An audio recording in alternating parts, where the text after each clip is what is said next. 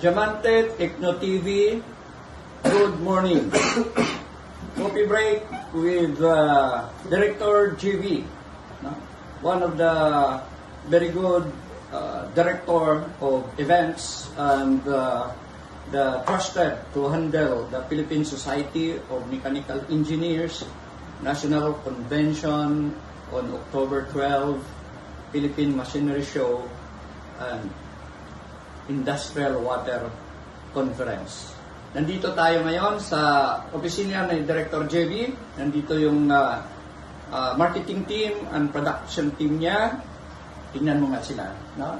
Yan, yan ang mga production team na at saka marketing team. No? Nandito rin ang mga trusted uh, Diamante Group that will handle the water conference uh, in partnership with uh, Director JB uh, Kim. So, uh, sa ngayon ay uh, malagang malaga yung pag-uusap namin kasi uh, we will write letter to the U.S. Commercial uh, Trade Services, also the Taiwan Trade Services, Korean Trade, Japan, and others. Okay? Uh, why we have to write this, ano, this commercial trade?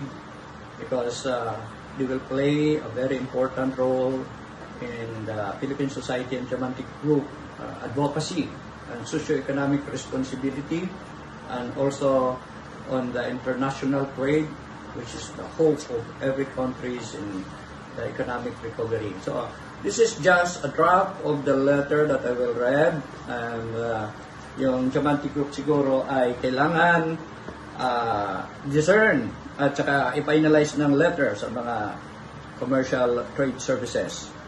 So, again, standard. We will use the Philippine Society of Mechanical Engineer letterhead na, with national directorship in the side of the uh, letter and uh, we will uh, be uh, finalized now the most important one, the introduction, the content, and a very powerful closing.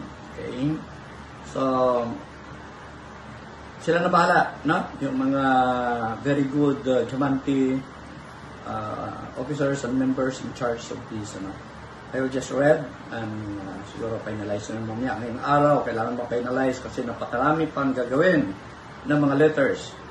Um, this is the introduction. No? Introducing Philippine Society of Mechanical Engineers, PSME, as the biggest association of professional mechanical engineers working in various industries, no?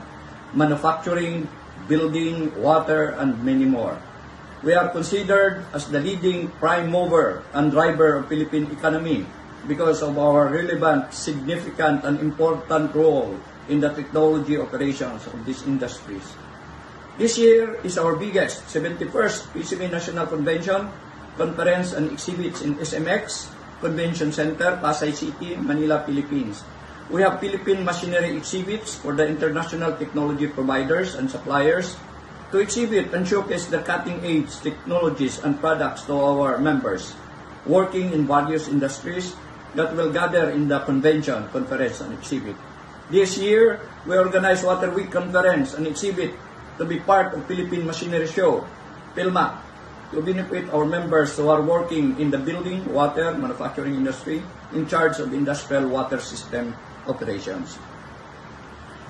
Now, this is the content of our invitation to the U.S. Embassy. We understand and uh, acknowledge the role of U.S. commercial trade and services in the development of international trade business to the world's econo- economic recovery.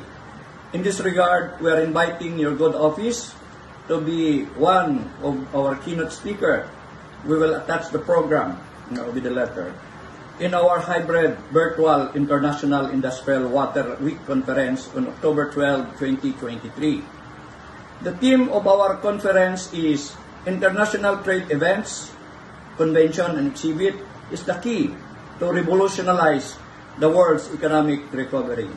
We will appreciate very much your presence in this speaking engagement, but in case your mo- most important valued time will not allow. The video of your keynote speech will be presented in the hybrid virtual conference program. Then the closing, looking forward for an international trade advocacy and events partnership next year with PCME that will benefit the mechanical engineers, Filipino industry, country, and humanity. More power and synergy to USA, commercial service and PCME socioeconomic responsibility and advocacy. Very truly yours, Engineer Jeremy, uh, Engineer Loreto Catalan, the President of PCME, Engineer Jeremy Aguinia, EVP and Chairman of PCME NatCon, Engineer Jeres de Ramil- Ramiliano, PCME, uh, PhilMac Chair, and Engineer Lino Diamante, Chairman, Diamante Group, co-organizer of PCME Water Conference. Thank you, Diamante Techno TV, subscribe. Okay? Cut.